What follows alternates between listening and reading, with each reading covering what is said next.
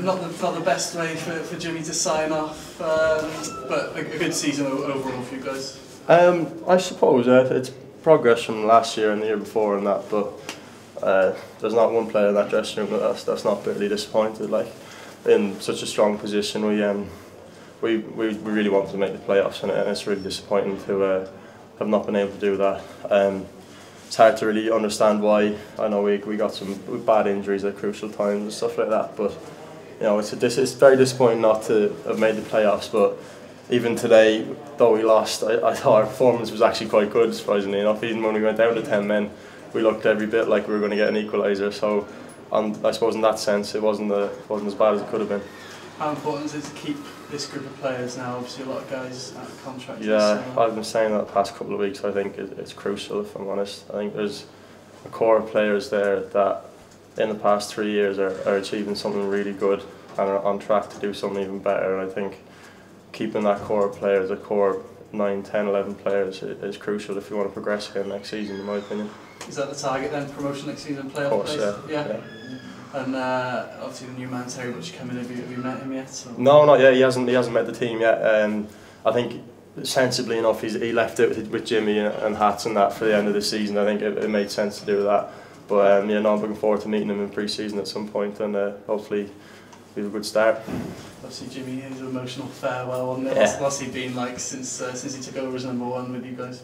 Um, the, the best thing I can say about Jimmy when he took over is that he didn't change a bit as a person from beforehand. He, he kept the exact same. He was the exact same as assistant manager as he was manager, which which I think is the perfect way to deal with it. If you try and change yourself as a person and be someone you're not, you know, players are going to see see that a mile away. So I think the way he's managed the players and, and not tried to get too ahead of himself has been ideal, and he's used the expertise of different guys and used them to help him and I think I think he's done really well since he came in. We did we missed out in the playoffs, but given the situation we were in, I think he did really well.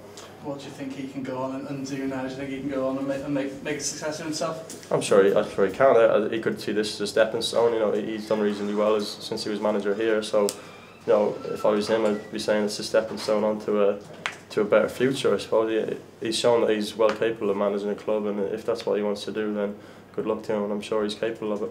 He played alongside Regan today. What, uh, how much of a prospect is he? What's what, what's he like around the place? It's, it's funny because I keep expecting to play a game with him and go, oh, that's there's a 16 year old in him, but it hasn't happened yet. No. And and it's that's the last three four games where I've played with him, and even the, the, the York game last week and the game before that, Dagenham Redbridge he was unbelievable. He was more or less our best player, and that's just a ridiculous achievement for a 16 year old to be doing that playing centre back in League Two. I, I can't get my head around it, and you know I think by far and away he's one of the best prospects in Wales at the moment.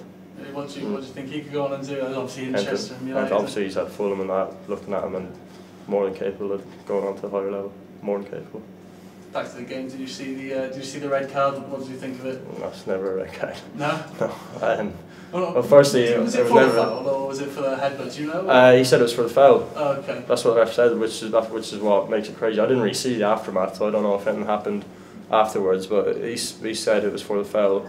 and he didn't actually make contact with the guy, so you know, terrible decision if you ask me. But I think we actually did really well when we down, went down to ten men, so that can happen as well. But um, you know, it would have given us a better chance, obviously. And, yeah, terrible decision, if you ask me.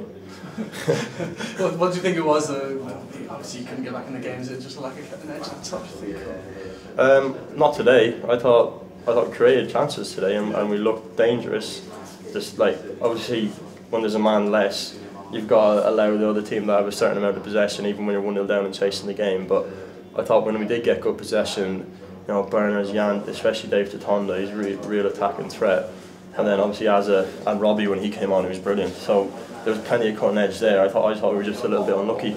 They just kept getting crucial blocks, didn't they? Um, and that's great defending from them, I suppose. But I thought we created enough chances today to to have, um, at least got a draw. Brilliant. Just on, on the new contract, obviously. Yeah. Delighted to, to have, the, have your future signed in Yeah, yeah, it was something that I was keen to get done obviously before the end of the season. I think uh, for my own security as well as anything else, but especially with all the contracts being up in the air, I didn't want to to let it go past this Saturday, where I'd be in a position where because obviously I had a deadline where I had to have it in before this Saturday if I wanted to extend the contract. I didn't want it to get to a stage where I didn't get my deadline in on time and then I ended up out of contract with you know it's not in my hands anymore. So I think I was lucky to have had my own future in my hands and it was an easy decision really. I couldn't So it was your say option no. that you've, you've taken. Yeah, yeah. So that's, your, that's your GAA dream uh, What? over for another season then? You, you I don't like to talk about that because I'll go. I'll get home for the summer I'll, I'll get involved in the Gaelic again, and then it's going to start all over again. But uh, you know, my career is over here at the moment, and I've signed a contract here, and that's where my future is. And I'll go home for the summer and I'll enjoy, you know, maybe playing a bit of Gaelic again. But you know, this is this is my job, so it's the main priority for now. Because it nearly went the other way, didn't it? Like a year, ago. You feel like you made the right decision. You're happy. Um, yeah, I suppose in a way this year personally hasn't gone according to plan. Um, with a couple of operations and stuff like that, I missed out on a lot of football. And when I missed, when I was missing through injury, I couldn't get back in the team because of the standard of centre backs that were here. Obviously with Darren, Ish, and Regan, you know, there's three top class centre backs. So it was it was frustrating that I couldn't get a regular run in the team personally, but. Um, the fact that the team has progressed again and looks like doing that again next season, and if I can be a part of that again next season, then I think overall I'll, I'll have made the right call to come back. and the chance to work with the defenders, you know, as experienced as, as Terry is, must, Yeah. be, must be a good opportunity. Yeah, really looking forward to it because um, I've, I've, I've worked under managers who are defenders before, and I've always found that they, they're generally successful because um, they create teams that have a solidity about them, and, and from what I've heard about um, Terry's teams, Inverness in particular, they're really solid teams who, who don't concede a lot, and as a defender, that's that's my main priority. So if he can bring that to our team, then I'll, I'll be really happy and look forward to working with him. Could be watching you Terry Butcher videos over the summer.